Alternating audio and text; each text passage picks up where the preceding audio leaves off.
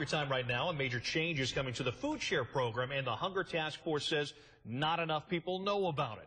Beginning April 1st, new guidelines will require able-bodied food share recipients to show proof of employment or risk losing their food stamp benefits for three years.